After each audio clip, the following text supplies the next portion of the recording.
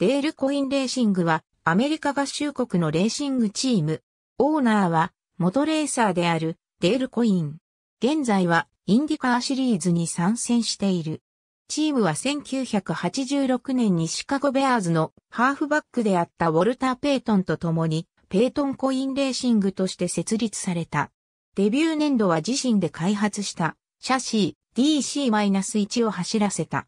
1988年になるとコインはドライバーを引退し、より若いドライバーを起用して、チームのマネージメントに集中することとなった。1997年、ミチェル・ジョルディン・ジュニアが加入し、STP モーストインプルーブドドライバーを獲得した。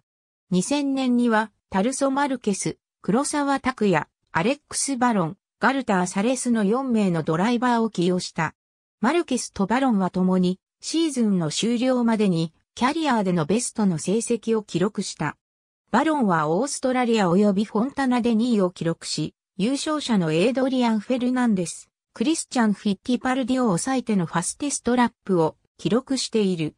2009年にワトキンズグレイインターナショナルでの一戦で、ジャスティン・ウィルソンによって参戦23年目にして、チーム初優勝。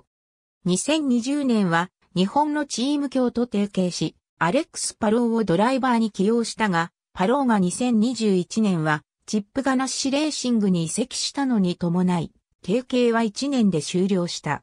2021年は、フォーミュラ1のシートを失ったロマン・グロージャンを起用している。ありがとうございます。